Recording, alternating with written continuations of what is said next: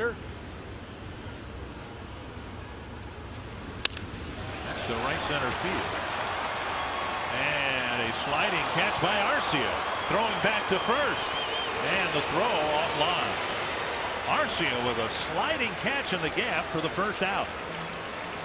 Boy, at our angle from here, that ball looked like it was going to be trouble if it hit that gap. And Lucas hitting that ball the other way. Arcia on a good slide makes a nice sliding catch and then gets it back in the infield. Nice defensive play by Arcia.